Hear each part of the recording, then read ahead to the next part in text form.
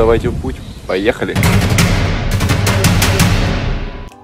Всем привет! У нас появилось свободное время, и в этот раз мы решили поехать в Чешский рай. Как вы уже поняли, это находится в Чехии. У нас будет 3 дня активного отдыха, но у вас это займет 30 минут. Так что устраивайтесь поудобнее, будет интересно и познавательно. Поехали! Собственно, где мы живем? Такие апартаменты. Видно, что старый дом, но немножко отреставрирован. Здесь первая комната, одна кровать, вторая кровать. Такие угодья. Там шкафчик, второй шкафчик, просьба не беспокоить. При входе здесь слева такой санузел с очень низкими дверями. Я, можно сказать, практически в притирочку прохожу. Дальше вход на кухню. Здесь даже радио есть. Такой антентичный скрипящий пол. Разделение мусора здесь есть. Такая кухонная линия. И еще одна комната. Любань, можно твои апартаменты посмотреть? Здесь такой диван, такая как лоджия для детей и еще одна кровать. Остановились мы в городе Турнов, э, апартамент так и называется «Чешский рай». Может он показаться немножко такой уже старенький, затертый, но мне кажется это просто старое здание, реконструировано и его сейчас сдают. Цена довольно-таки небольшая, но мы преследовали цель, то, чтобы остаться в городе, какая-никакая инфраструктура, удобство. И отсюда, в принципе, в большинство точек Чешского рая можно добраться. Так что не будем терять время, пойдем. Так, в общем, у нас первый день, мы решили не терять время, надо было, конечно, отдохнуть. Мы все-таки решили сразу же идти в поход. В общем, у Любани там в наушниках какая-то пресс-конференция, но она все равно пытается быть с нами. Отправились мы в поход, но большую часть маршрута сейчас проходили по городу, собственно, через сам город Турнов, через какие-то гаражи, Сейчас идем вдоль речечки. Речечка, по-моему, как-то так, Езеро называется. Его уже покинули. У нас план посетить его, ну, более детально посмотреть на третий день. Сегодня пойдем в Чешский рай, северную часть, которая находится над Турном. Любаня только что так прикол спрашивала, а где же ворота в Чешский рай? И здесь как раз выходим за угол, и вот такая вот арка. Сверху там железная дорога. Пройдя эту арку, и сразу же вышли к замку. Замок Грубый Рогозец, как-то так называется. Но есть одно но. Он находится вот там вот на вершине, в самом верху. Мы приняли решение, то что, наверное, мы не будем подниматься, терять время. Хоть что-то успеть. Просто взлетели, полетали вокруг. И идем дальше. А вот там вот тоже прикольно. Труба идет с замка и зашита такими камнями. То есть неизвестно, куда оно потом все это девается. Ну, наверное, какая-то дождевая вода собирается. Замок Грубый Рогозец был заложен приблизительно во второй половине 13 столетия и изначально выглядел иначе, а уже к 1534 году приобрел похожие формы, как мы его видим сейчас. С 2002 года замок охраняется как национальный памятник культуры. На территории есть небольшой английский парк. Замок открыт для посещения и предлагает экскурсии. Возможность увидеть, как жили прошлые владельцы графской семьи.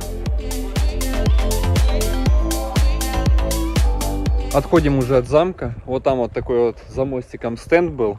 То, что какая здесь флора и фауна, какие жучки, птички водятся. Там за ним еще дальше было таких три водоема. Выглядело это, конечно, как три болота. Но они такие, явно видно то, что штучно сделаны, потому что четкие формы. И сейчас идем вот по вот такой вот офигенной большой полянке. Идем пока через поселок Доланки э, по красному маршруту нам еще, в общем, нам еще идти, идти. В этом поселке Доленки также есть вот такой вот кемпинг. И прям возле него дом Чешского рая, музей, я так понимаю, находится. Пока мы идем вот, вот по такой вот живописной дорожке, вдоль, конечно, каких-то чьих-то угодий, очень так прикольно. Вроде бы и поселочки такие проходим. Вот, все ограждено. Но все равно разметка есть, куда идти. В общем, зашли уже в лесок, и здесь именно прям какая-то птица очень жесткие какие-то звуки издает. Но надеюсь, что это не какой-то знак. О, слышите? Через этот лес мы вообще вышли на дорогу. И здесь, вы не поверите, автобусная остановка. Сошли мы уже с дороги, и вот здесь вот такие вот почтовые ящики. Адрес, и получается такие, как квартиры. Но, самое удивительное, то что, как видите, домов здесь нету а дома находятся вот там вот. То есть, если вам пришла какая-то посылка, либо что-то, то вам надо к почтовому ящичку так нормально пройтись. В общем, очень увлекательно получается. Начинается дождик. Причем, ну, солнышко светит. И мы даже дождевики ничего такого не взяли на сегодня. Точнее, все оставили в номере. Так, а ну куда пошли? Знак видели? Уже очень даже так темнеет. В общем, были только что на такой смотровой площадке. Смотровая площадка очень громкое название, потому что там было видно какие-то руины замка. И дальше что-то похоже вот на заповедник. Вот такие вот камни удивительной формы, ступеньки и, в общем, такая приятная атмосфера леса.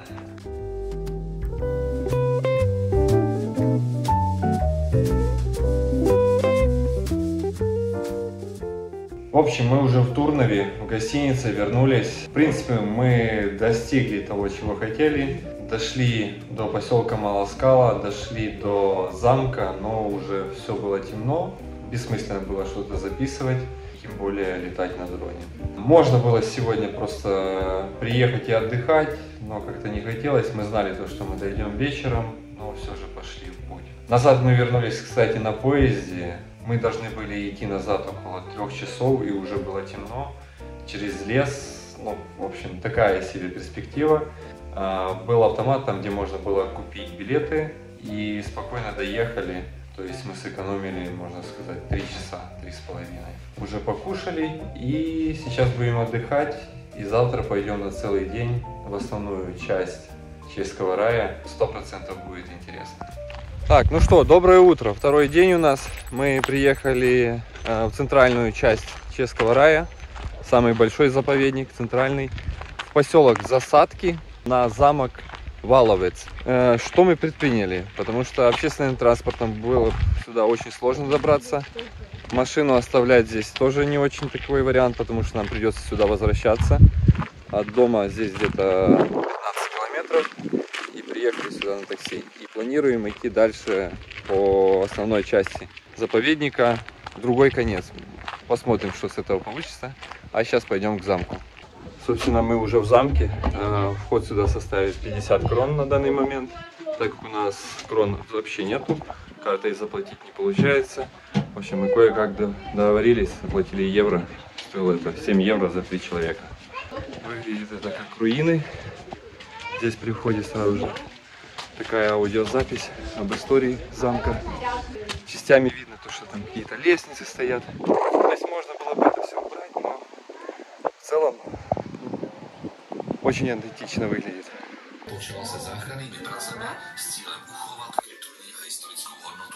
Были только что на нижней смотровой площадке. Выглядит это, конечно, очень прикольно. Там такой столик стоит, как будто для романтических свиданий. Без стульев, без ничего часть такого сооружения просто выбита со скалы. Ну вообще, я так понимаю, что этот замок сделан с цельной скалы. Просто такие вот еще надстройки. Здесь такую сделали инсталляцию камина, но он из дерева. Я думаю, он не очень эффективный по теплоотдаче, учитывая то, что он деревянный. Такую статуэтку поставили и все собирают монетки. В общем, загадывают желание. Здесь какой-то ход, прям вообще мышка на их гнездо. Очень низко. Я, можно сказать, почти на коленках сюда иду. Что там? О, тепленько здесь. О, остаемся здесь? В общем, уже выходим. Здесь очень прям узенько. Так, надо пролазить. Люба не издевается надо мной. Говорит, ты здесь не пройдешь. Я говорю, я высокий, а не жирный. Она говорит, ну у тебя же плечи широкие. Исправила, да, как? Валычев – это руины средневекового скального замка на западной окраине Чешского рая. Эту крепость частично выбили из цельной скалы еще в 14 веке и дополнили деревянными сооружениями. Впоследствии пожаров деревянная часть горела, но спустя годы замок достроили из камня. Валычев стоит на высоте около 320 метров над уровнем моря. С 1967 года он охраняется как памятник культуры. Многие здесь начинают или заканчивают свой поход. Замок Валычев является важным пунктом чешского рая.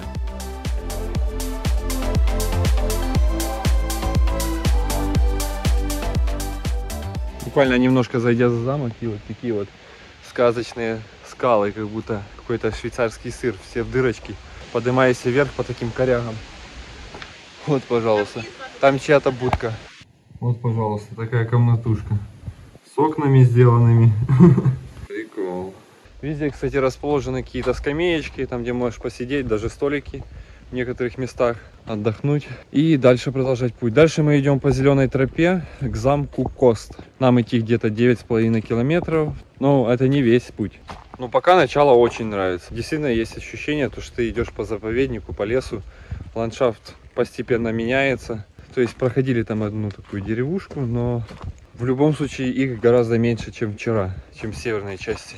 То есть пока намного приятней маршрут. Только что проходили какие-то частные угодья, скорее всего. Такая вот там территория для загона скота, обтянута такой как проволокой. И внутри там видно была такая как надзирательная вышка. Типа что-то так выглядит. И выходим опять на какое-то поселение, на какую-то деревню. Мне казалось то, что если это заповедник, то заповедник ну, как-то поменьше должно быть инфраструктуры. Как-то так. Потому что когда мы были в Словацком раю, а, в Словакии, а, то там ну, вообще практически никаких поселений не было. Прошел, отдыхаешь, там запрещено какие-то палатки ставить, запрещено там останавливаться. И то есть как-то более охраняли эту часть. А здесь, наверное, немножко другая ситуация. Так, сейчас будет краткий экскурс. Какой наш план на сегодня? Где мы жили? Где мы жили? Жили мы тут. А, Мы приехали в Валычев. С Валычева мы пойдем вот так вот. Сейчас мы уже находимся вот здесь.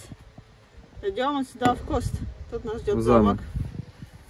С Коста мы, по идее, пойдем туда на зеленой.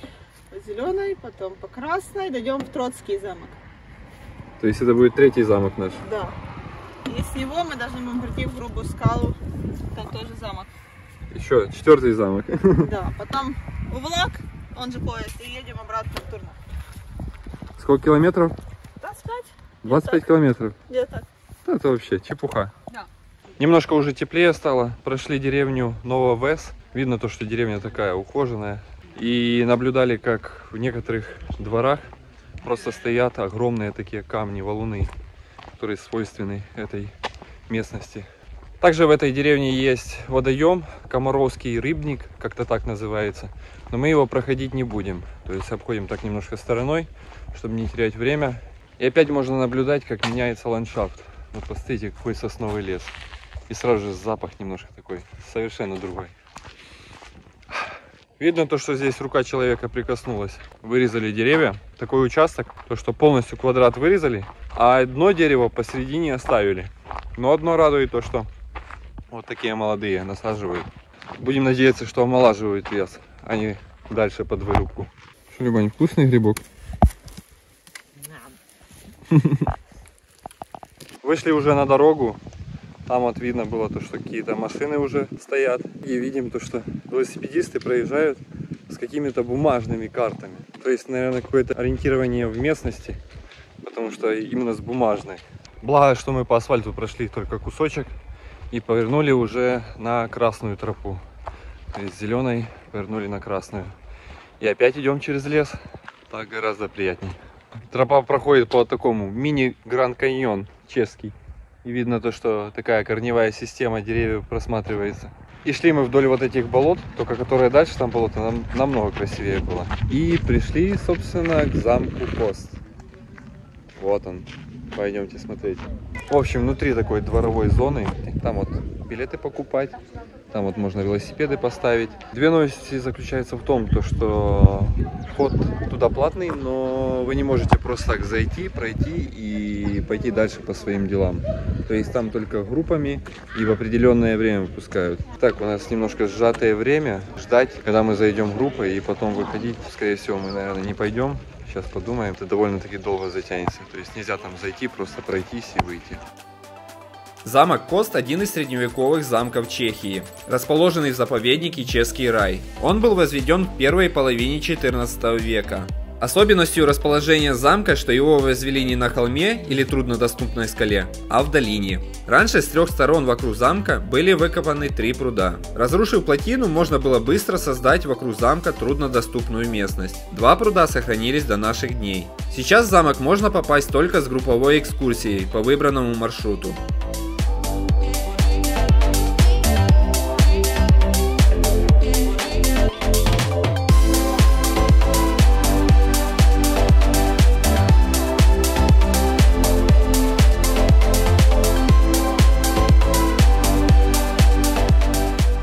В общем, покинули мы уже замок Кост. Э, Не решились мы, не пошли вовнутрь. Но зато инвестировали это время в обед. Покушали, не голодные, идем дальше. Э, Возле замка такой же, вот, такой водоем находится. И мы пока идем вдоль него. Опа! И шли только что через такую болотную местность. Вот там вот. И вот деревья упали. Самое странное, то что здесь довольно-таки узкий проход. Но здесь кто-то ехал даже на велосипедах. И не один. Потому что следы остались. Я не уверен, то, что здесь веломаршрут проходит, но кто-то здесь ехал. Снова идем вдоль дороги. Там вот такой участок был, то что камни обрушились и дорога частично перекрыта, сужается. Там действительно было видно то, что кусок скалы откололся. В общем, прошли мы где-то уже, наверное, около 18 километров. Даже встретили такой знак, то что Либерецкий край. То есть, походу, мы какую-то область сменили. Чувствую уже себя как будто хоббитом, который несет кольцо. Встретили каких-то банду недомотоциклистов, потому что они на каких-то полумопедах ехали. Встретили мы, в общем, змею или ужика. Ну, она такая маленькая была.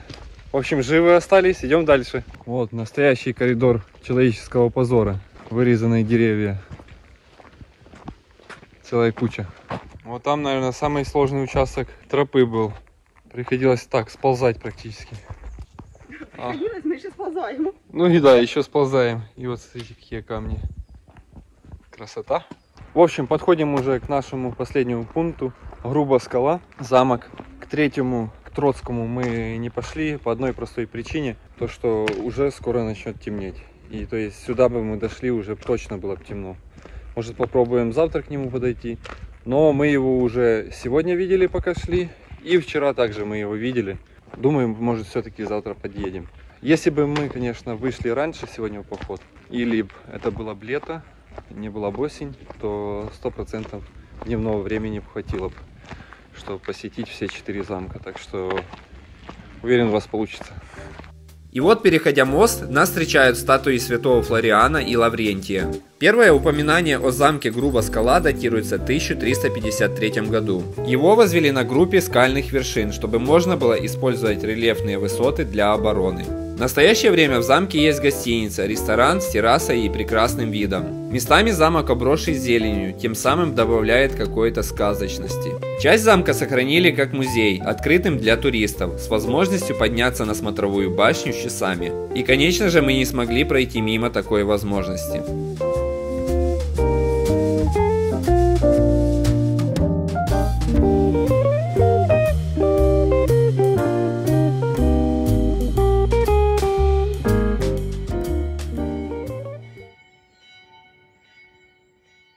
Наверх можно подняться, и вот здесь вот такой часовой механизм.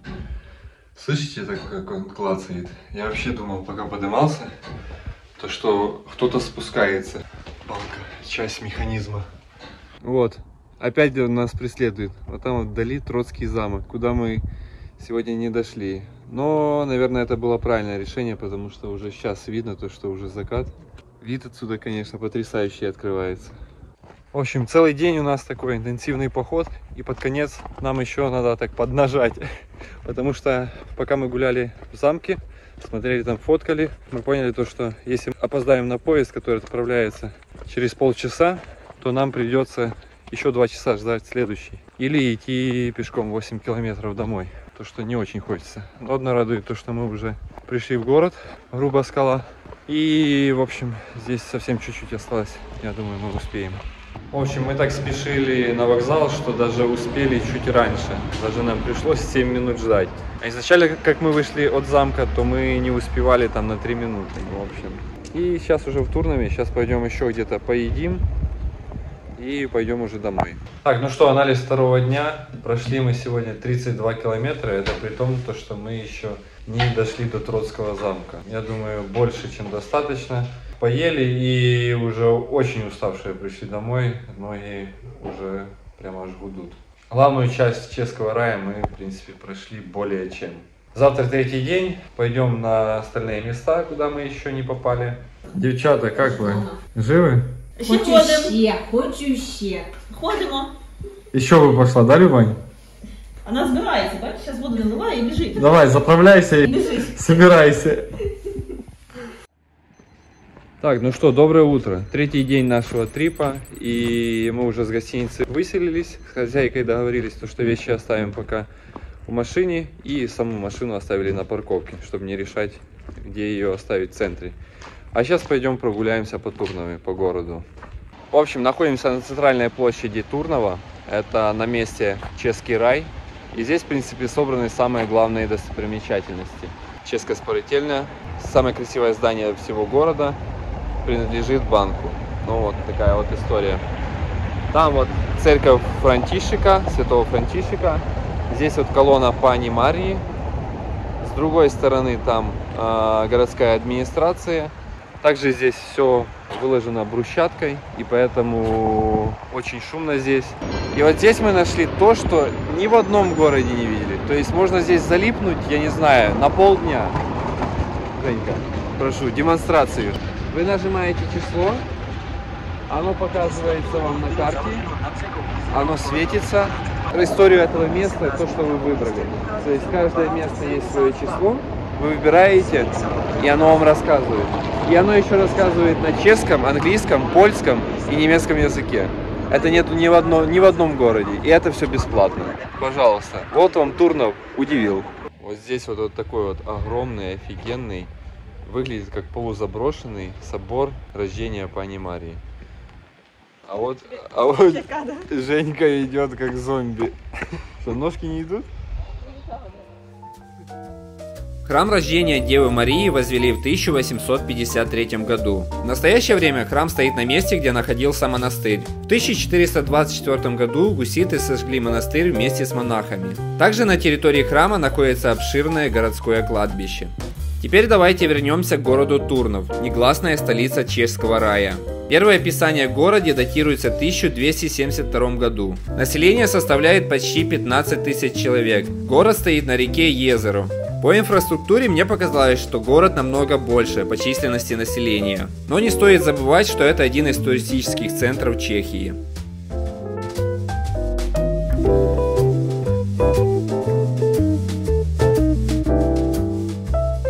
Так, ну что, мы добрались до Троцкого замка. Уже вот зашли. Можно сюда подъехать. Парковка стоит, по-моему, 80 крон, но они охотно берут и евро. Здесь вот касса. Вход для взрослого 140 крон. Можно заплатить картой. То есть с этим проблем здесь нет. И вот, собственно, мы уже во дворе замка. Идем внутрь. Два дня мы видели этот замок с разных точек Чешского рая, и на третий день мы к нему добрались. Я все время называл его Троцкий замок, и только приехав к нему, я понял, что это Троцкий замок, а точнее крепость. Первое описание о нем датируется в 1396 году. Замок построили среди равнины на двух скалах. На каждой из них возвели две крепостные башни, та, что повыше, носит имя Панна, та, что пониже Баба. Соединили их оборонительными стенами. На данный момент это больше похоже на руины, но силуэт крепости является символом заповедника Чешский рай.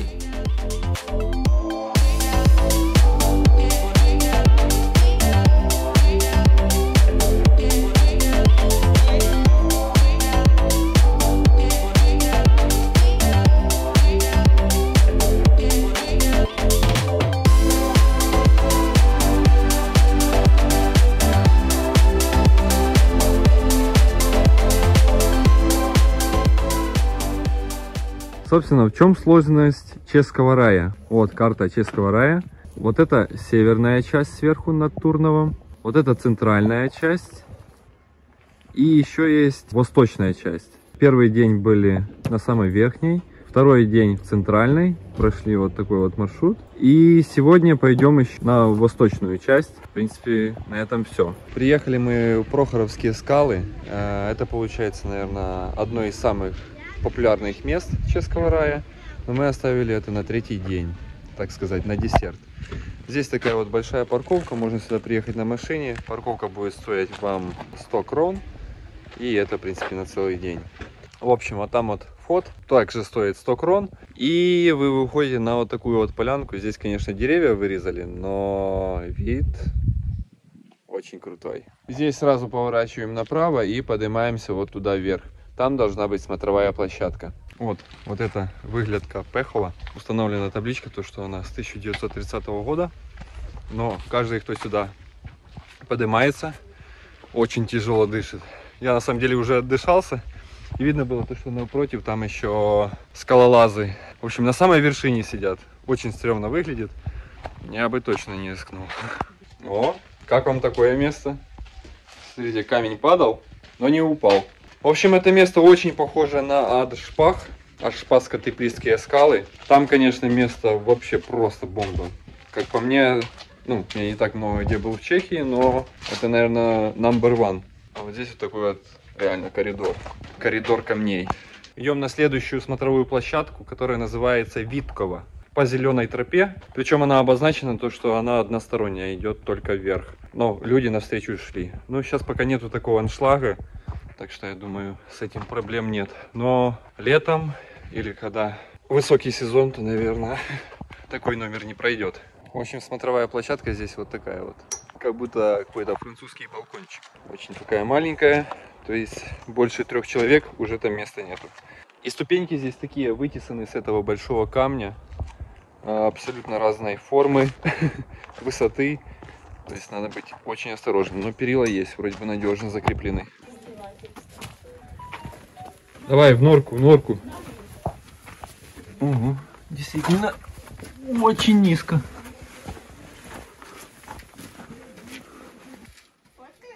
Да, держите. Чтобы не упало. Есть, видео записал. Вот здесь стоит такой очень интересный знак, то что позаботились о людях, которые пришли с колясками. То есть туда можно идти с колясками, с детьми, а сюда уже какими-то более сложными участками дороги. Это уже смотровая площадка Кришковского. Вот там вот табличка прибита. А вид сюда открывается на озеро. Да, здесь очень много таких смотровых площадок. Минус в том, то, что ты на нее поднимаешься, потом опять спускаешься, и на следующую снова вам приходится подниматься. Любань, что не так? Не вмієш ти фоткати. Все, ищи себе других попутчиков. Вот такой вот спуск. Но важно то, что находится вверху. Вот такие вот вершины. Да, спустились сюда вниз, в ущелье, и такое ощущение, что ты просто какая-то букашка. Такие вокруг.